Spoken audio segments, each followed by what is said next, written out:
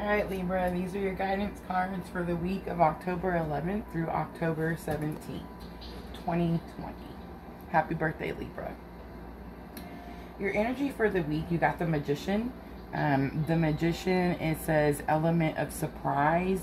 Um, I feel like it, it, it also means like new ideas, um, creating some sort of magic. Um, it, I feel like it's creative. You're being creative this week. The energy this week is creative. Um, you're coming up with something new. So the challenge or obstacle you got this week, you got the Ten of Cups. So the Ten of Cups is like the best thing ever. Um, it's that happy home, contentment, don't need anything else kind of thing. Um, it's in your challenge and obstacle. Whenever I see this card in the challenge and obstacle, I just kind of think that you are not um, maybe um, like you're not seeing your ten of cups. You're not seeing that you already have this happiness um, around you within you. Um, you already have things good things to celebrate for. Um, you already have like um, the the love and family um, around you that you need but I feel like sometimes we're looking for more. We're constantly trying to get better. So we're always thinking, oh, I, it's kind of like, um, how do they say when um, the neighbor buys the white fence and you go buy the like bigger, fancier fence? You see what I'm trying to say? Like you always are trying to like updo uh, yourself. You always need more. So I feel like your challenge or obstacle this week is just kind of uh, know what you have already. Like uh, find your loved ones, your family, um, celebrate with them, be happy for the things that you already have. I feel like that's what your obstacle is this week. And Libra, for your lesson that you've already learned or that can help you with this obstacle, you got the Lovers card, which was perfect. Um, the Lovers uh, it's clearly two people. Um, so I feel like this is not you. Uh, this is someone you already have in your life. Um, it says it's a loving relationship. Um, and it could also be like a friend. It, it doesn't have to be like a spouse or significant other. This could be a really close friend that you have.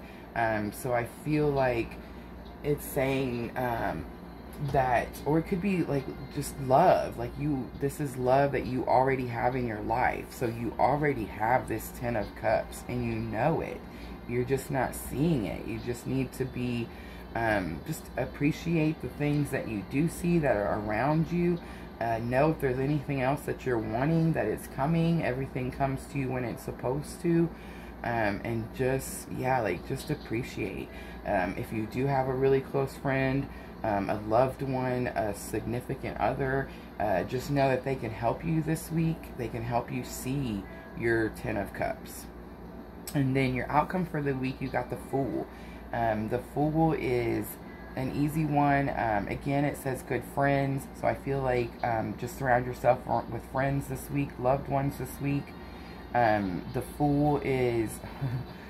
the it means to take a leap, to take a leap of faith, to take a leap forward. So I feel like it's saying, um, I finally got it up there, sorry. but I feel like it's saying um, that's your outcome. That's what you're going to do at the end of this week. You're going to take that leap of faith.